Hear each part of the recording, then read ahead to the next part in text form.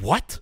It's a Saturday and the fantasy footballers have a show? Yeah, it's almost fantasy football season. So get ready, buckle up, lock it down, and we're answering your questions. Like this video, subscribe, leave comments. Also, have a great weekend.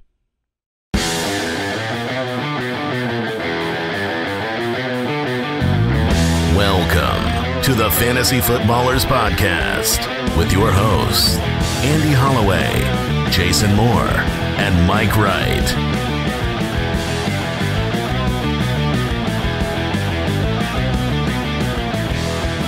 Ladies and gentlemen, welcome to the podcast. That's the Fantasy Footballers Podcast, Nasty Boy. Mm, thank you. I wasn't sure which podcast I was at, but I knew I was nasty. So nasty. Welcome in, everybody. I'm your host today, Mike, the Fantasy Hitman Wright, joined by the Nasty Boy. Andy uh, will be back. We'll have the trifecta yes, coming. Full, full strength as we power into the season because what do we got? Uh, it is July 9th, Saturday. Welcome to the first Saturday show of the season. One of, what do we got? Four? Four lined up? Yeah. Who knows? We'll just show up and we'll hit record if the, the time is right. But welcome in. Yes, the season is approaching rapidly. We got training camp here in just a couple of weeks. Then August hits. We're five shows a week. And make sure you're ready. Make sure you're ready for all those drafts. The Ultimate Draft Kit at ultimatedraftkit.com. That is our off-season draft product. Just jam-packed with all the fantasy goodness that you need to prepare. We're talking, you know, tons of tools for, for research, for building your own opinions. We have a 100 video profiles where we break down, uh, you know, just like two to three minutes on on the the top drafted players. Like just I know a uh, lot of packed. Oh yeah, I mean we spend half a year working on it every year, but um, I know a lot of people they end up getting the ultimate draft kit, you know, right, you know, right before their drafts, Right. and that's fine. You know, you're still going to dominate, but it's like if you're going to spend the money at that point and and get the ultimate draft kit, improve your toilet time for the next you know Absolutely. two months because there is so much reading, so much watching now with all the videos. If you know if you're illiterate. It doesn't even matter. You can watch. You can watch the videos. Why are you attacking people? Oh, I'm not attacking people. I'm I'm here for the illiterate. Okay. That's why we make these videos, Mike. And this year we have uh, really highlighted the cheat sheet creation where there, you could do a whole bunch of custom things for that. I suggest you check it out. Follow us on the social medias, Instagram.com slash fantasy footballers, or also on Instagram, all three of us there, at Andy Holloway, at Jason FFL. I am at FF Hitman. Let's get into this quick question. Hey ballers, Rob from Minnesota. I'm in a league where the winner from the previous year gets to change one rule for the upcoming season. Currently, we are super flex with two RBs, two wide receivers, a tight end, kicker, and a defense. What change would you make that you think would be fun for our league? Thanks. Love the show. Well, for this particular league, it's Uh, it's it- super it- easy. I mean, it's staring us right in the face. yeah, he said kicker. yeah. I mean, get that garbage out of your league. Remove the kicker. I don't. You could just remove it altogether, or change it into just another flex. Uh, but overall, Jason, do you have a, I- a I rule was- that you want to change? So I ha- I saw the question earlier, like what rule would I change? And I thought it was for my league. I didn't realize this was like you know voicemail helping someone uh, specifically who gets a unilateral decision, which is a lot of fun. That's a lot of power. That is a lot of power. Um, and so, you know, I had my own things that I was thinking about. But as he was talking about his league, when he said, you know, uh, it's super flex, two two running backs, two wide receivers. In the super flex, I like a deep league. I like wide receivers um, to come up a little bit. So I would say go three wide receivers. But basically, the single rule would be take the kicker and turn it into a wide receiver. If you want to turn it into a flex, uh, a second flex, that's great too. Either one of those, um, that's certainly what I would do in that league. Yeah, and we have been Jason and I specifically big proponents of let's equalize quarterback yardage where a quarterback runs for 10 yards, that's a point. A Mhm, quarterback mhm, mhm. throws for 10 yards, that is not it is not a point because they need 25 yards to get that point and it I don't know. It- Mike, do you love Trey Lance for fantasy football this year? I Love him for Mike, fantasy. is Trey Lance a great NFL quarterback? uh, TBD. Mike, is Trey Lance a great NFL quarterback? currently no. No, he's not. He couldn't beat out Jimmy Garoppolo. I mean, he's he's We heard it. He hurt his fingy. Oh, oh, guy, poor guy. Um, no, I, I, my point is, it's you. Want, I want real NFL quality to be reflected in fantasy football, and it's not. Now, and the the great part about Andy not being here today is no one gets to argue against Right. us about the value that a rushing quarterback brings to the real NFL over passing because the reality is if he rushes for 10 yards it gets a first down or he passes for 10 yards it gets a first down it's the same thing for that team That does remind me of the rule I would bring up. Uh, fantasy managers named Andy no longer have first round picks. ooh man I would say I don't know my if- league I would say fantasy managers not named Jason Oh, don't get first round picks but you know yeah, you mine, do, mine was a little targeted. Yours was just mine was very beneficial. targeted just for my own good and glory on today's show. It's it's a good old fashioned mailbag episode, uh, and the news is a little bit light. You know, just some smatterings of puff pieces like Chase Edmonds. You know, he's uh, on track to track be the lead- lead guy which he should be and I think right now he's undervalued in drafts absolutely. I mean, you're so Jason is a best ball fanatic these days. You're mhm, you're doing a. Uh, the bulldog a- yeah, you're doing the. ball- Is that the one you're sharing with Kyle? yeah that's one of them yeah. And what round are you in? We are in round 10. 10, yes. 10. And one of the players that you are considering uh, targeting here in round 10 is Chase Edmonds. That's Like, right. that is absurd to me that Chase Edmonds, who feels like he's locked in to be the starting running back for the Miami Dolphins. Yes, they brought in Raheem Mostert, who, what's his injury timeline? We just don't know. Uh, and Raheem Mostert just, no one's injury prone, but Raheem Mostert's body. Well, he's does- currently injured. So Raheem Mostert's body does not like to play NFL football.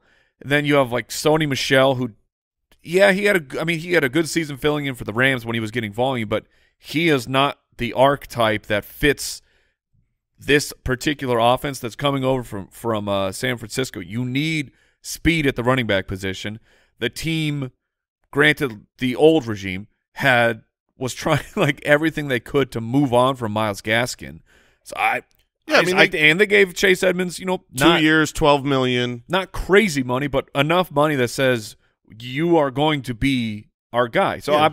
I, I've I've risen on Chase Edmonds. I you've talked about that you were rising on Chase Edmonds as, as well, and a starting running back for what should be a decent offense, adding Tyreek Hill if Tua can get it done. A starting running back that late is outrageous. He won't go there in your home drafts, but he's still going way later. Yeah, right now he's the running back 37, which is that is absurd. I, I agree. Uh, there are not 36 teams in the NFL. All right, let's get into the mailbag. Mailbag. Mailbag! Yeah. All right, apparently the the the staff, the production staff, really wants us to talk about Superflex. They're trying to make this a Superflex Saturday. no, there's a lot of lot of people playing that, and we don't. Dozens, dozens of people No. around the globe are playing Superflex. No, Superflex is super popular. We it is not our go-to preferred format. Um, but you know, I, I play in some Superflex, and it's enjoyable as well. I think Brooks likes it better than uh, than Classic. If I had to choose, yeah, if I were to start a new league, I think I would go super. So that's your rule change, Brooks, is to go Superflex. Well, his league was already Superflex. Yeah, I guess it is. All right. Well, Would this you go triple flex? Oh, just go triple I mean, super? triple super. No, no, no. Oh, that's man. a it's a super duper. that's what that's it is what it's called the No, super duper flex. And actually, removing kickers would still be the top of the list. All over right. the super flex. So this question comes in from Instagram from Young Mamba ninety six. Would you draft Josh Allen in the first round or go running back? No, I this would is in a super flex. Yeah, I would definitely draft Josh Allen in the first round. I, I think that there is In a super flex, there are a few. There's a handful of quarterbacks. Is to- he your 101 in a super flex? Not necessarily. You can. It depends on whether it's full PPR, if it's uh, two wide receiver, three wide receiver. Um, you've you've got arguments to be made for Jonathan Taylor, Christian McCaffrey, and um, and Josh Allen, but he's he's basically the 101, 102, or 103 to me. You've got a handful of these quarterbacks who are dual threat, great. Uh, you know, you, you've got uh, Josh Allen, uh, Kyler, uh, Mahomes, and and uh, Herbert that will all definitely be in the first round, and then probably a, a few more. This one's from Twitter, uh, from Marcus Marsh. Do I go quarterback early or wait until rounds four and five? So, it- like, let's say you're Oh, this is still super flex. yeah. This is still Okay, it's, I was- sup- I it's was like- super flex Saturday, Jason. I, okay, because uh, I thought we had moved past that. No, and no, I was no. like, getting a quarterback in round four or five is taking a quarterback super early. so And let's just to be clear, we have a few Superflex questions that I really wanted to make sure we address, but the whole mailbag isn't going to be Superflex. oh, thank goodness, So there you go. thank goodness. All right, let, I'm gonna put you in your slot of like Sure. back half. You're at like the 108. 108. Are you per the yours in general? Are In- do you feel like you're getting a quarterback there, or you're waiting? No, in that in that spot, I'm probably going to be waiting. I'm probably going to be looking for value later on. Uh, Want to leave the draft with three uh, quarterbacks in that situation, and so I will be targeting um, guys that are under, you know, like a Kirk Cousins, um, someone that will drop in, and it's not so m- much a matter of the round. It's not so much a matter of well, is he in the fourth round or the third Right. round or the sixth round? It's a matter of the tiers. So when when you when you have the the UDK and you are looking at our tier based rankings, you take a look at which quarterbacks you want. You know what tier of quarterback you want as your first quarterback, um, and then you wait as long as possible to make sure that okay, this is the tier I was happy with. All those other guys are gone. I've loaded up on running backs, wide receivers, whether it was three, four, five rounds. But now I'm still getting a quarterback from the tier that I wanted to start with, and then you're going to take a couple uh, later. You know, someone that may- maybe maybe your third. Uh, well, I was going to say third quarterback's Trevor Lawrence, but Trevor Lawrence is. There's always someone that is such a believer in Trevor Lawrence that he goes pretty darn early. Uh, but someone like that, Tua or or a, a guy like that. What about Trevor Lawrence or Jameis as your quarterback three? The upside of Trevor Lawrence Okay. to be what he was drafted to be is is far higher to me. The thing to focus on and remember in Superflex is it's not like all the all of a sudden the quarterback is everything. It's just it's the supply and the demand of the market. Uh, and Jason is right. You knowing the tiers, that's what helps. Is that's what helps me know when I need to go in on quarterback. If there's still an elite quarterback there and I need to start two of them, I'm very happy to grab one of those in the first or the second round. But if the elite options, in my opinion, are gone, uh, then I'm happy with you know the three guys like, and also you know Matt Ryan. Like Mm-hmm. you want the three because you. It's much harder to stream the position off of your waiver wire if everyone is starting two of them. And most teams will have three, so you you you want to make sure that you got three options that you can stream from those options for the particular matchup. Yeah, and, and it's a lot easier to grab a third quarterback if you wait a little bit and load up on your running backs and wide receivers uh, through those first few rounds. It gives you more flexibility at the end to take a shot on uh, Matt Ryan or Trevor Lawrence or you know s- someone in the Justin Fields, um, a mobile rushing quarterback with your third quarterback pick. This one's off Instagram from Jacob Batley. Possibility of Rashaad Penny being a top 10 running back. Whew. Okay, so you, uh, possibility of Rashaad Penny. I'm a softball myself here, being a really good running back for fantasy. I think is decent. Um, just I want to remind you of the numbers real quick. yeah, sure. So from week 14 through the end of the season, so that is this is a 5-game sample size. Rashaad Penny on pace for 2281 rushing yards and over 20 rushing touchdowns.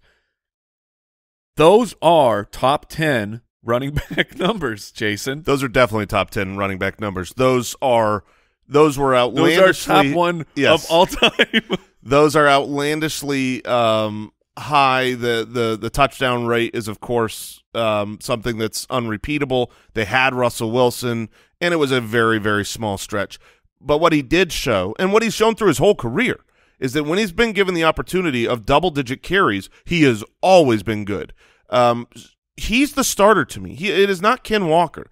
Uh, we've talked about this a, a little bit. Ken Walker in most drafts and all ADPs from every site that I've seen um, is going well ahead of Rashaad Penny. That is insane to me. Um, it you know it's this is a loyal Pete Carroll who's going to give Rashaad Penny the the chance. Now, obviously, with the history of Rashaad Penny, he could get injured. I mean, duh. And so if you you want to take that shot on Ken Walker, but if he's getting double digit carries every single week, I think Rashaad Penny is definitely a you know a top 16, 17 running back. It's hard for me to put him in the top 10 solely because of the quarterback and offense situation around him. He doesn't have a phenomenal offensive line, and things aren't going to open up and be a little bit easier the way that, you know, when you're we've got Russell Wilson behind the line to not stack the box. If if you're uh, you know, your aura as a team is I run the ball, and your quarterback is Drew Lock or Geno Smith, then it's pretty easy job for defensive coordinator to be like, let's just put everyone at the box. Um, and I, but I do think Rashaad Penny is very undervalued, has a high ceiling. I just don't know if it's top ten. And the uh, the reminder of we did a you know a bit of a study looking at second round running backs. I don't know if you remember these numbers off the top of your head, Kyle, or if you can pull them up, but just the percentage of rookie second rounders outscoring the incumbent. It's it's very high, and that was like that was kind of what helped push me towards Javonte Williams. Now, Melvin Gordon did finish higher than Javonte Williams for the Denver Broncos this past year, but it wasn't like they, you know, they, he, Javonte finished at 17 and Melvin Gordon at 13. So historically, the trends are that uh, that, that Ken Walker has a very good shot of finishing higher in the end of the season than Rashaad Penny. Granted, this is the same regime that drafted Rashaad Penny in the first round, and then Chris Carson, who was just drafted uh, the year before or two years, I can't remember, but in like the seventh, Sixth, I think. uh, he was like one of the last picks in the entire draft. So it seemed like a lock that Rashaad Penny would be the guy to take over the position for the Seattle Seahawks. But no, it was in fact Chris Carson. Pete Carroll, notorious for putting who it does it doesn't matter where you came from, it doesn't matter what money you're making. If you are what I view as the better player, you're going on the field. So I agree that I- it, the disparity in draft in ADP right now between Rashaad Penny and uh, and Ken Walker, it it should not be that far apart, and Rashaad Penny should not be going that late. Next question. Let's go to let's go to a voicemail here. Hey, footballers. My question is in a dynasty league, how do you know when your window has arrived and when you should go all in to try to win a championship? Thanks. Love the show. All right, so a dynasty question. When do you know? Is it time to compete or is it time to sell and prepare for next year? Yeah, I would say that this is an easier question than you think. A lot of teams in the middle of the pack are really, really unsure. And because they're unsure, they're like, I'm not one of the best four teams. I'm not one of the worst four teams. So I don't know what to do. Do I do I tear it down? Do I go? Do I compete? Do I go all in? Go all in. If you're not one of the worst four teams, then you should be competing to win a championship this year. Players get injured, players off of waivers come out of nowhere, even in dynasty leagues. Um, there's just crazy things that happen, and I find that the teams who him and Haw and they feel like, well, I'm kind of kind of build for the future, but I want to stay good. They're never going to win a championship, and they're never going to be bad enough to just completely, you know, so to to you know get the 101 and and have Right. some draft pick save their team. I find that if you go for it all in, trade what you need to trade to get guys to win it now, and you stay good, you have a higher chance of winning a championship, obviously, and then you you can kind of just keep doing that forever until all of a sudden, eh, you know, six years, seven years later, maybe then you've run into a place where you've kind of aged out if this is a dynasty team, and then you just tear it down to the nubs and rebuild. But I would say that, you know, 70, 65% at least of, of every league should be trying to compete to win the championship that year. And look at your team. Don't compare your team to like don't go find the one super team in your dynasty league and be so trembling in your boots. Uh, well, there's just my team has no way to compete. There, I think my team's good, but they cannot compete against that team. That team over there still needs things to go right. They still need injuries and the the chaos of the NFL season to bounce in their favor. We have had a, a we have had so many super oh, teams Oh, yeah. in our dynasty league where I've done it. I went and I looked at the roster and you go, How do they why lose? why why are we even going to play this season? Because no one can possibly compete with that starting lineup over there. And then that team just gets hit with a a wave of of crap luck and they don't even make the playoffs. Yeah, in, in our league of record, our main league, we had a problem for a good decade where our our rules allowed for teams to just really sell out and become super teams the next year. And we had a run of five or six years in a row where there was a legit super team. They were just they were like they traded their soul to get all of the first round picks and it, it just looked like an unbeatable team. One of those teams that I can remember did win the championship. And like so five, six, six sevenths, whatever it was, did not win. Right. I mean, it, it, it's just what we think in the draft season has not played out through 16, now 17 weeks of, of NFL games. This one's off of Instagram from Danny Donato. Elijah Mitchell or Miles Sanders. Ooh, Elijah fun. Mitchell off the 49ers. Miles Sanders started for the Philadelphia Eagles. Where what's your temperature on those two guys? Um, I, I I hear everything that you and Andy have been saying about Miles Sanders. Uh, the the touchdown regression to the mean, he should absolutely get more touchdowns. You're not having Boston Scott with seven. I just can't get myself to believe that Miles Sanders is going to get it done this year, and so I'm I'm I'm pretty hot for Elijah Mitchell, especially say where he's being drafted. Are, a lot of people are scared of Elijah Mitchell. Well, and I get it, right? He was injured so much, and it wasn't like he missed the majority of the season. It was just that it was like three different injuries, and the guy couldn't stay on the field. But at the same time, Kyle Shanahan loves this guy. He fits the system perfect, and when he was on the field, he performed great for fantasy. Uh, the beat now this is scary, uh, so be careful. The beat reporters are saying he's got a clear lockdown on the job. Uh-oh. Now, if you're unfamiliar with Uh-oh. the history of beat reporters in San Francisco, they pretty much always get it wrong. Um, but uh, that is the current word out of town is that he's got the lockdown on the job, and it makes sense from what you saw last year. He had the job on complete lockdown, so it's a good running team, and I think they're going to want to run the ball like even more than last year because Trey Lance is coming in and I think they're just going to establish the run like crazy. Like that's that's all Kyle Shanahan's going to do, and I could see Elijah Mitchell getting 20 carries a game, and then he'll break, and then take a couple weeks, and then get 20 carries a game again.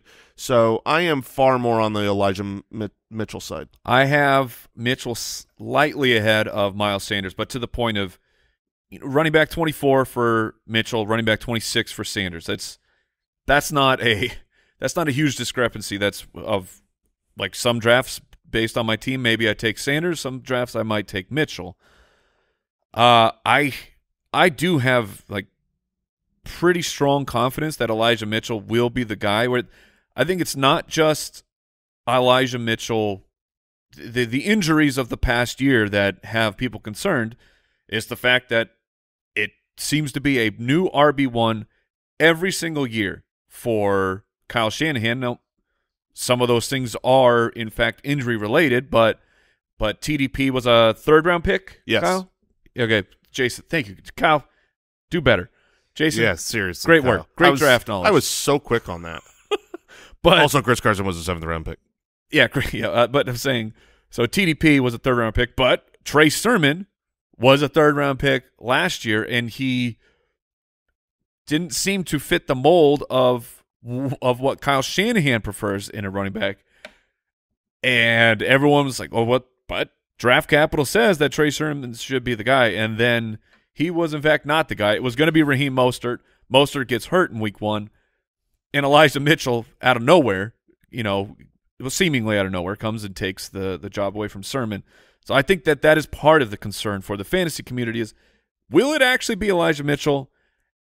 I still think it will be. When you say doesn't fit the mold, what you mean, if people don't know what the Kyle Shanahan mold is, is very, very fast. Yeah, speed. that's that's I- like speed. all that matters. You can be big, you can be small. You just do you run uh, under or over four four? Yeah, no, you're out. yeah, none of this You're out. in Shanahan's house. All right, we're going to take a quick break and then we'll be back with more of your questions.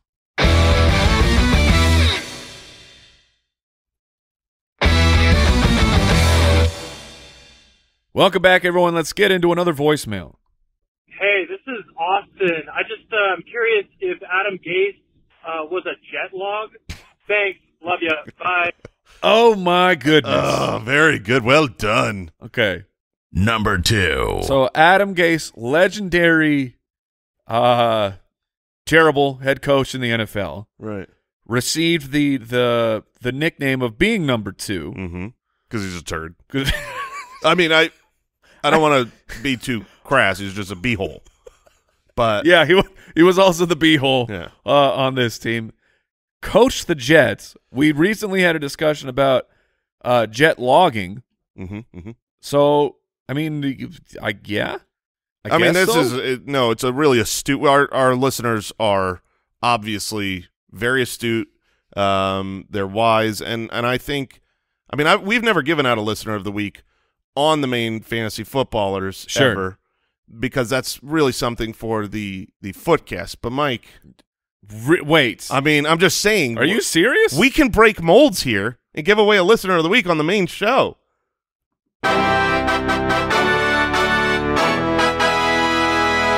Listener of the week. Well, congratulations. Uh, I did not catch the name there, but the first ever listener of the week for the the main fantasy footballers podcast. Congratulations. Listen to the footcast. Call there's your parents immediately and tell them of the honor that you have received. That's ridiculous. The parents are listening. oh, that's a they know point. they're going to a- call you pretty soon and congratulate you. This one's off of Instagram from appar- multiple people. They want to know DJ Moore or Terry McLaurin. Oh yes, this is great. DJ Moore got the upgrade, well, as we see it, an upgrade of Baker Mayfield. Now let's we got to. I'm I feel very confident that it will be make, Baker Mayfield. But if if they could have this training camp battle, even if they have that, Baker Mayfield is going to win. Yeah.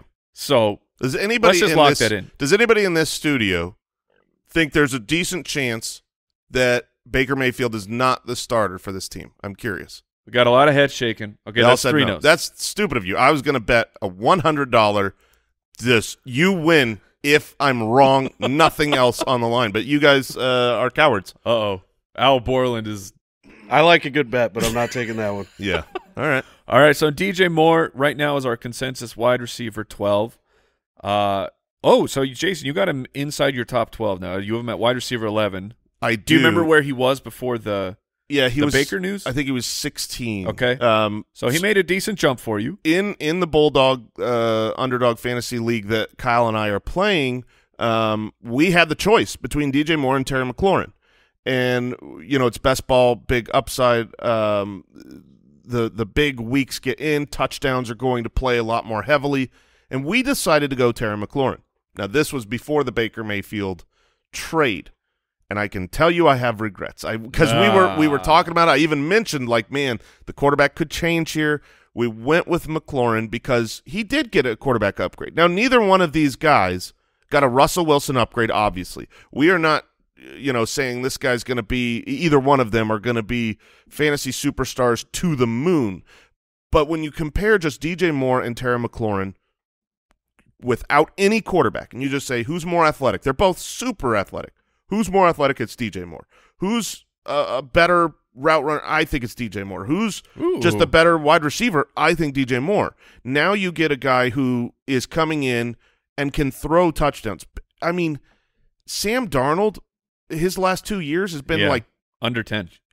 I'm saying like his uh, touchdown percentage has Oh, been okay. like 2.3 or something unfathomably atrocious. So the touchdowns I think are going to be in the favor of DJ Moore. I'm, I'm going to bet on the talent. I love both guys, but I will take DJ Moore more over Terry McLaurin. 2.5 and 2.2. The past two seasons, uh, touchdown right there for Samuel Darnold. Yucky doo doo. Uh, I mean, I, I like both players, but I'm, I will buy more into the, the upside of DJ Moore. I had him ranked higher than Terry McLaurin before what I saw is the upgrade of Baker, so I'm gonna stick. I'm gonna stick with DJ Moore. Uh, off of Instagram, uh, Shazavelli. Oh, I could have gone with Chazavelli, but I went with Shazavelli. it sounds so much better. And Yeah. if it is Chazavelli, I would You know, re- consider, reevaluate. Yeah, consider just workshop what Mike's talking about. Shazavelli. Oh, very nice. Thoughts on rookie Dameon Pierce being the lead back over Marlon Mack for the Houston Texans? Well, the depth chart is very nice for Dameon Pierce. Yeah, you Uh, got Marlon Mack. You got Sexy Rexy. Sexy still there? Rex Burkhead is still there. Uh, do we have anybody else that we need to worry about for the Houston Texans? Well, I would say probably not. But what the Houston Texans do like to do in this era is have about ten people at every skill position that are all mediocre. So and and battle it out across um, many Oh. aged vets. Royce Freeman's there Oh, is is he exactly? and Ogunbowale. Oh, give me more. How many more? Uh, they were actually allowed. Um, a lot of people don't know this. They were given permission uh, because of everything that's happened with them by the NFL. They get an 83 man roster on Sundays. Uh, everyone else has 53, but they're like, man, you don't have any talent, so you can really shotgun approach uh, your roster. So, I mean, the reality here for Dameon Pierce is you can't find a much better backfield to beat. Marlon Mack was a good running back, a good young running back. Mhm. He projects to be the starter, but he is coming off of an Achilles injury. He's a year removed now. That is hopefully great. This is the year of Achilles information. Um, we are going to learn so much now that we have Cam Akers a year removed. We've got Marlon Mack a year removed, and we've got you know the James Robinson Yeah. late, but also had no athleticism to start and was a great running back. So it's like, does he need it? Does, does he Right. need Achilles? We don't know. Um, so we're going to learn a lot, but yeah, I mean, uh, this is a winnable depth chart. The the problem for Dameon Pierce is history says that when you are not, you know, a, a day one, day two draft pick, it just doesn't really work out for you. It's It- tough, yes. you know, it's like uh, th- there's a lot of guys that are like this. Tyler Allgeier um, for the Falcons, that's not a bad situation to try to crack a relevant role, but history is not on the side of fourth round and later draft picks at running back. I mean, and, and on top of that, he has to overcome the Houston Texans team as a whole. Now, I like they had, you know, uh, pretty sure Rex Burkhead had one or two spike weeks where he just got a bunch of touchdowns and a bunch of volume. Dameon Pierce also working against him is, I mean, four year player out of Florida. His production profile is not what you are hoping for. For uh, like, there's not one season where you're seeing a huge market share of attempts, touchdowns, or receptions. Tyler Allgeier, at least his last year at BYU, great. Like mm-hmm. a great production profile heading into the season where you can get kind of excited. Now, but granted, Florida is a they're a weird team when it comes to these things and the and the overloading a player. Pierce is interesting to me. Like when I when I watched him, he looks like he's shifty and has juice, and I do think by the end of the season he will be the guy. I don't know how long it takes. I don't I don't know what Marlon Mack has left because when he was on the field, I mean they kept they kept insisting for the Colts because they were trying to showcase him for a trade. They kept insisting that Marlon Mack was ready to play last year. He was not. If you watched him take any snaps for the Colts, So I think that there is a strong chance that Dameon Pierce is the starter. There's a decent chance he's the starter before week one, too. So he's interesting to me as a late round flyer. Uh, let's see. Next question comes in from this one's from Twitter from at Rich Homie Tom. Do you think Isaiah Spiller has a chance to eat away some carries from Austin Ekeler this year? Isaiah Spiller being everyone's by everyone I mean everyone else. Uh, people loved Isaiah Spiller. Jason, you you I- were on board. I was 100% on board with Isaiah Spiller when it comes to film. I thought he was, you know, he was my running back three uh, in the pre-draft process. Spiller can catch the ball, is a great pass catcher, uh, has the size that I prefer in an NFL running Very back. young. 217 pounds. He is not yet 21 years old. He can catch the ball. Loved Isaiah Spiller. And then And then he plummeted in the NFL draft. the combine happened where he ran a 4.69 Woof. and it was like, "Oh, that's not good." He was bad on his speed score, bad on his burst score, and it was like, "Well, we'll see what the NFL says. Does the NFL say that that athleticism is a real deal breaker for them, or are they still going to take him? Because in that pre NFL draft process, he was often mocked, mock drafted in the second round as Yes. a day two pick. Yes. So had a lot of hype, has great film, good good production, and is very young. I love him. Dameon Pierce was drafted above uh, Isaiah Spiller. He's a fourth round pick. Lands in a great situation for him though, because outside of Austin Ekeler, I do think that there is a lack of running back talent oh, he's there. he's the number two running back for the Chargers, and over the past few seasons, with their actions, the Chargers have said we want to have a compliment to Austin Ekeler. We we can't completely wear him out, so they took the chance here for Isaiah Spiller. Yes, I do think that by the end of the year, there's a chance that Isaiah Spiller has become more of a uh, a thorn for the fantasy value for Austin Ekeler than we are we're hoping for right now. So I yes, I I do see Spiller eating away some carries, he's eating away some some goal line That's opportunities as well. Uh, Austin Ekeler had an out freaking rageous 20 touchdowns last year. That's not happening again under any situation, but now you can actually look and say, well, shoot, there's a clear situation where Isaiah Spiller, the 217 pound rookie, can come in on the goal line and maybe, you know, it, it's funny because he, he is the big body guy, but I didn't really, if I'm being honest, see on film like the pile pusher for the big bodied guy. I did, I saw a slow, not str- strong running back. I did I did not.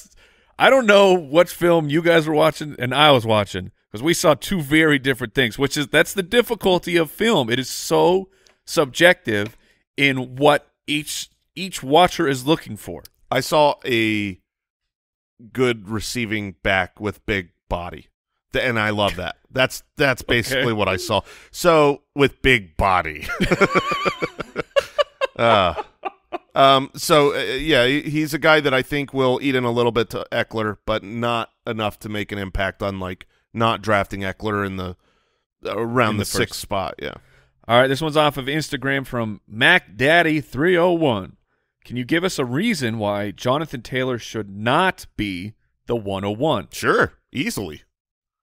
He will not score as many points as Christian McCaffrey on a per game basis. Okay. Christian McCaffrey is otherworldly when it comes to fantasy production because of the volume he gets, the receptions he gets. Uh, he cannot score touchdowns and still dominate. So, um, Jonathan Taylor is going to be great, but he needs those touchdowns. He his opportunities were outrageously high. His goal line work was Yes. as good as we've seen in a decade. 29 carries inside the five. Yeah, I mean that is That was first. Second place would be James Conner with 19. Yeah, And you can go back, you know, multiple years. I was I, I like Jason's saying, essentially a decade and you have maybe like two or three guys who have seen anywhere close to that level of carries inside the 5. there takes But- a lot of luck to Sure, get, yeah, to yeah, get your absolutely. team in that position. To just be inside the five takes some luck that you got there but didn't score from outside of there. some of that's going to change. He's not going to get 30 carries inside the five again. So the touchdowns will probably come down for him. He is still my number one because of the youth and the um, injury history with Christian McCaffrey. But if you want to say why shouldn't he be the 101, it's to me because his upside is not the same as Christian McCaffrey. And while the I do think that those carries inside the five, they more than likely will come down. How much is it catastrophic? I don't think so. Like he's still uh, he's my number two running back behind McCaffrey because I just want to look in the mirror and hate myself and, take McCaffrey for a third straight year in a row and and feel that pain. Uh, on the upside, though, for Jonathan Taylor, Matt Ryan is in town now. I think Matt Ryan's a much better quarterback than Carson Wentz, but what I do know for sure is Matt Ryan historically has we've seen huge running back reception totals from Matt Ryan. It's and this is exactly like go back a couple years. You have Philip Rivers. Matt Ryan is not going to be trying to extend the play. If the play is breaking down, Matt Ryan is going to throw the ball to Jonathan Taylor or, and Nyheim Hines as well. But I'm saying on first and second down, when Taylor's the back and it's not a run play, he, I think that his reception numbers are very safe. Last year, 53 targets, 40 catches turned into 360 yards. I mean, the guy's a big play waiting to happen. I think there's a chance that he, the 40, I think there's a chance he's in the 50 reception total this year. I, I would I would agree completely. His receptions should go up. Uh, I I still have Jonathan Taylor. I actually have him above Christian McCaffrey in my rankings due to um you know the the youth and the injury risk of Christian McCaffrey. But I I would agree that you know look Carson Wentz when he was the quarterback, he looks to extend plays. He scrambles around and look. He's like how can how can I buy time to throw it as far as I can? And How not can I- only as far as I can, where's the triple coverage that I can throw the ball into? Well, the nice thing is that he can overthrow it. So it's like I can overthrow all three defenders. Just Check this out. Um, it was, you know, he seems like a player like that in like, you know, you're just out on a field playing some, you know, just Some just street pick- ball? some pickup street ball. He'd be like the guy that would scramble around, scramble around, and then just punt it. Just, just see you later, ball. It's going to be the same result. Um, so yeah, you you should have more receptions for Jonathan Taylor, but that's kind of the case for. Uh, it's hard to have a question that's like, tell me why to not draft the great young Yes. stud back.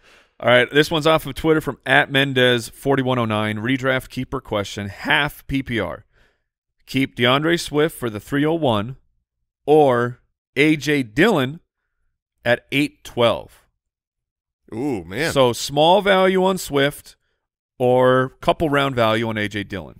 So I, I, w- I would argue that it's a small round value. I think Swift is the more that drafts get going. I think he's going at the very beginning of the second. So it's like a it's like a full round. Sure. Uh, two hundred one to three hundred one. AJ Dillon in the eighth, basically the ninth, the eight twelve is exceptional value.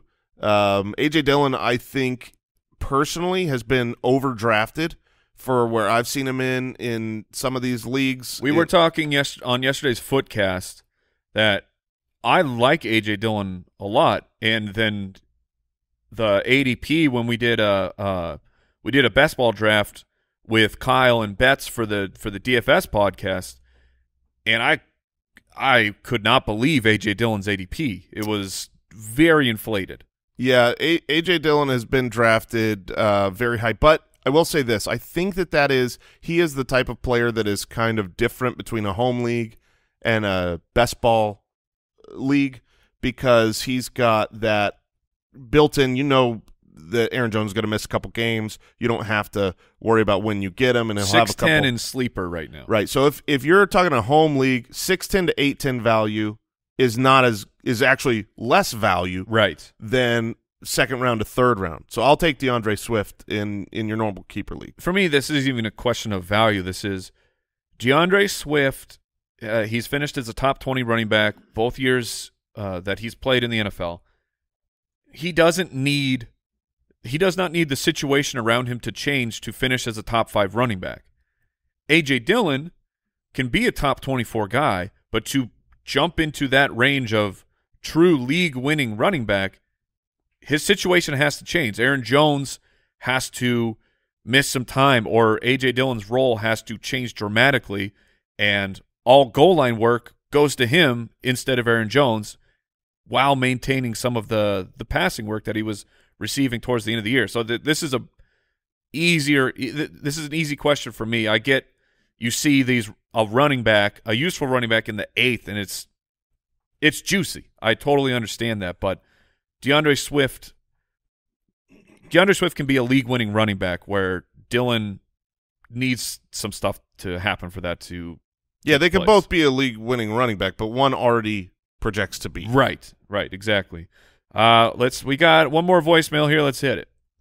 Hey, Wallers. This is Tyler calling from Phoenix, Arizona. Oh, Uh, hey! I'm going into my first Dynasty startup draft, and I was wondering if the sixth round is too early to take Chris Olave.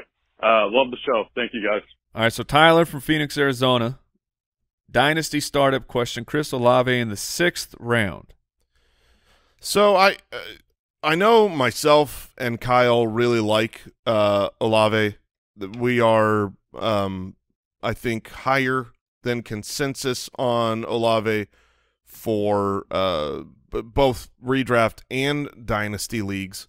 So the sixth round is really just a matter of ADP. Let me pull up uh, where current dynasty startup ADPs are going. Okay, because off the top of my head, without ADP, Olave in the sixth feels fantastic. When you're in a dynasty startup, these first round really young wide receivers, even though you have no proof that they're actually good in the NFL, they they get skyrocketed into the early rounds. So I, I think him dropping in, I would see that as him dropping into the sixth, and, I, and then I'd be very happy to take him. Yeah, and and you are exactly right. Right now, um, he's basically the 63rd uh, player, so he's he's going there right now. I don't think that's too early to draft him. He's No. extremely talented. Um, they gave up so much to get him. He projects to be a really important part of the offense. It, it's funny though, Garrett Wilson in in current um, best ball drafts is going behind Olave, and I was I was questioning myself on this today because you got a guy that's higher drafted, and if you look at the receiving corps around them, it's easy to argue that Olave has more competition, right? Like you know, you got Jarvis Landry, Michael Thomas. Now, obviously, if Michael Thomas is injured and Jarvis Landry is old and washed, whatever, but those are two good NFL wide receivers.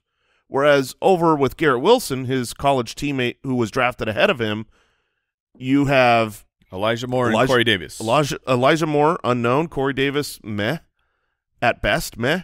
And so it's like, and and then you could you could say, oh, but Zach Wilson. It's like, oh, but Jameis Winston. Like, it's not like either of these guys are are great. So I think both of those uh, rookie wide receivers are good. And and here's just a dynasty uh, trick uh, or uh, a little tip of knowledge. Well, is it a tip or is it a trick?